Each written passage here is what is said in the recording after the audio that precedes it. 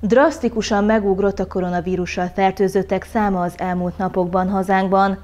Elsőként 4000 fölé emelkedett a 24 óra leforgása alatt beazonosított fertőzöttek száma, majd csütörtökön már a 6000-et is túllépte. A kormány így a szigorítás mellett döntött, lezárják az országot. Az intézkedés az operatív törzs szerint szükséges. Le kell törnünk minden eszközzel a harmadik, nagyon dinamikusan emelkedő járvány hullámnak ezt a szakaszát. Nagyon sok védőoltás beadása megtörtént már, de tudjuk azt, hogy a védőoltás beadását követően csak mintegy két-három héttel várhatunk valamiféle védettséget az első adag beoltását követően. Így versenyt futnak az idővel, ezért is döntöttek az egy hónapra tervezett zárásról.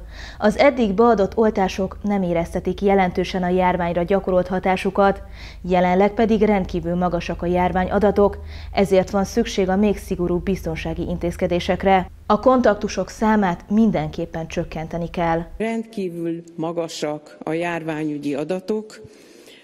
Február 18-án jelentettük be tulajdonképpen a harmadik hullám kezdetét, és azóta 2533-mal nőtt a kórházban ápolt betegeink száma, és 307-tel a lélegeztetett betegek száma.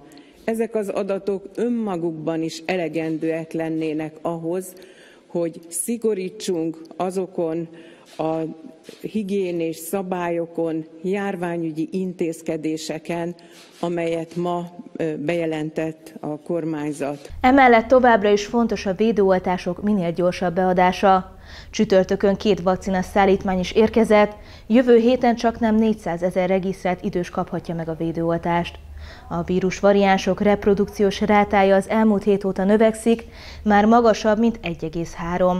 Ez azt jelenti, hogy folyamatosan exponenciális mértékben emelkedik a fertőzöttek száma. A járványügyi adatok akkor lesznek kedvezőek, ha ez az érték egy alá szorul.